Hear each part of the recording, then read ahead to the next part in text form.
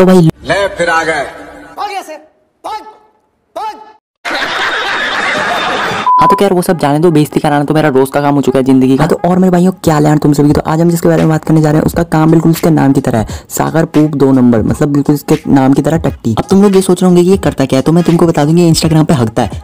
वो सॉरी मतलब हकता नहीं है मतलब रील्स बनाता है रील्स दोनों अलग अलग होते हैं क्या? नहीं। हाँ तो आओ मेरे मित्रों।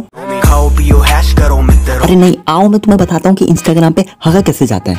कंट्रोल कंट्रोल अरे नहीं मेरा मतलब इंस्टाग्राम पे ये भाई साहब रील्स कैसे डालते हैं लोगों को इन्फ्लुएंस कैसे करते हैं।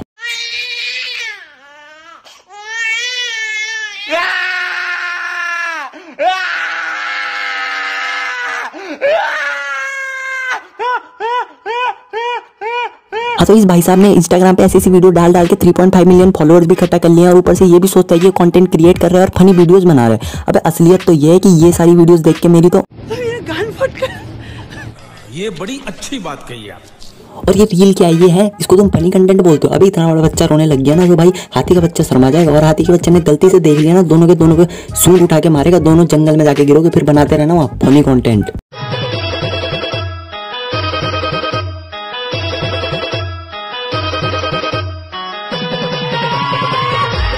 ऐसी वीडियो बना के अपने आपको कंटेंट क्रिएटर बोलेंगे तो देश में कोरोना नहीं फैलेगा तो क्या फैलेगा? अभी किसी ना किसी को तो बदला लेना पड़ेगा ना तो कोरोना आ गया बदला लेने। फिर लोग बोल रहे हैं कोरोना फैल रहा है कोरोना फैल रहा है. अब this is the reason why corona is falling तो मतलब टाइम ये आ गया कि आप इंस्टाग्राम खोलो तो कोई ना कोई हगे ही जा रहा है कोई जोगिंदर बंदर करके हग रहा है। माफ़ करना गुस्से में इधर उधर निकल जाता हूँ। फिर कोई ऐसी बकचोदी फैला रहा है इंस्टाग्राम पे और फिर मोदी जी कहते हैं कि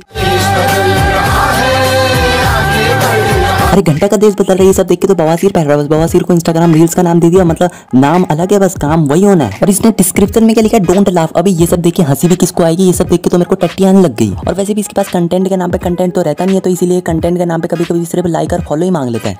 तो गाइस फॉलो कर लो। Thank you